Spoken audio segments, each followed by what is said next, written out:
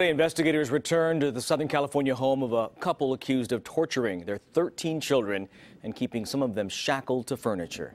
It was the first time yellow tape was used to block off the street in front of the home since the arrest. Thanks for joining us. I'm Tony Lopez. And I'm Christina Janes. Riverside County investigators have been busy all day gathering evidence and processing the suburban Perris home as a crime scene. And now the family is speaking. Brenda Taylor, who lives in West Virginia, says that she is Louise Turpin's aunt, and she says she wants justice for the children.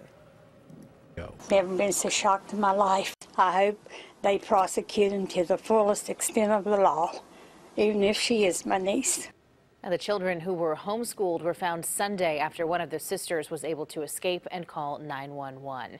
A state lawmaker who represents the Perris community is now getting involved. He's preparing legislation that would add more oversight for homeschooled children. Let's dig into this more. CBS 13's Lamar Abrams is here now getting answers on what's behind this proposal. Christina and Tony, Assemblyman Jose Medina says he's stunned to learn that state officials never went inside this home to inspect it not because they assumed something was wrong, but because those 13 children didn't just live here, they went to school here.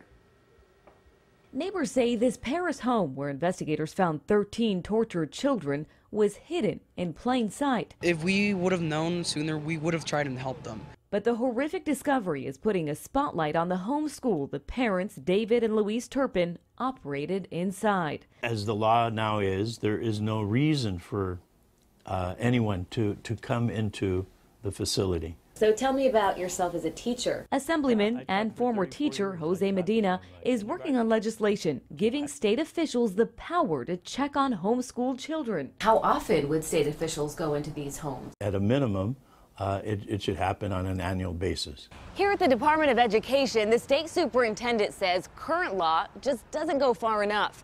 It only requires that homeschools and private schools register with the agency, but it doesn't approve, inspect, monitor, or oversee them. The District of Columbia managed to overcome that and create new oversight in 2008 after a quadruple murder in a homeschool case. Rachel Coleman runs a nonprofit recommending strict oversight for children taught at home. She says abuse in homeschool is nothing new. There were 11 children kept in cages in Ohio.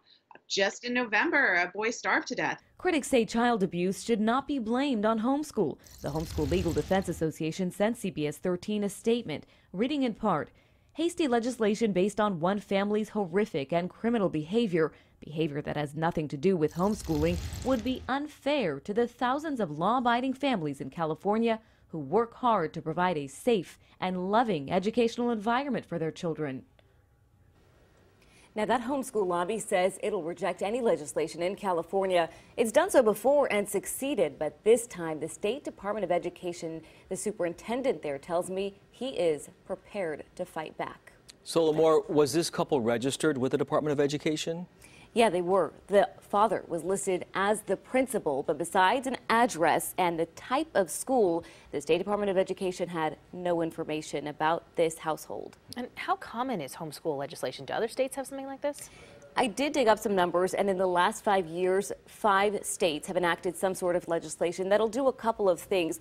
First, create background checks for parents, requiring parents to to put some sort of fingerprinting on paper. Mm -hmm. Currently, only public and private school employees have to do this. And second, require mandatory contact, allow state officials to go into a house and inspect what's going on in there. Yeah, someone's going to watch the kids if the parents aren't going to do it. Right. No more thanks.